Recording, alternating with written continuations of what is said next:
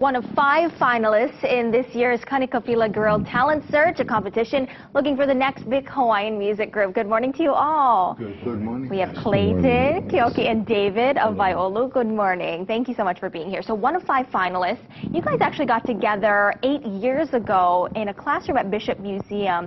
Uh, Clayton, tell me about how that, that group kind of formed naturally.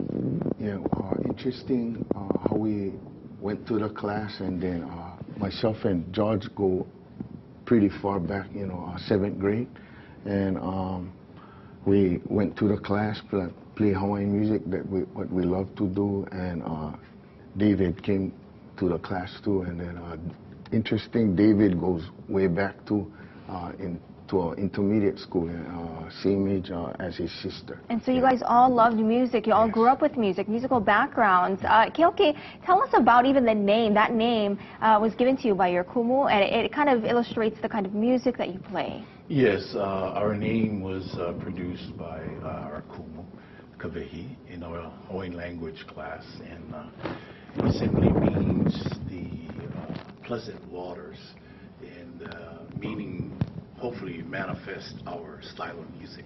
Wonderful. And David, you guys are one of five finalists. Are you excited for the competition oh, yes. coming up at the end of the month? excited for us and also for these guys. Wonderful. And you guys are giving us a preview this morning. We're so excited about that.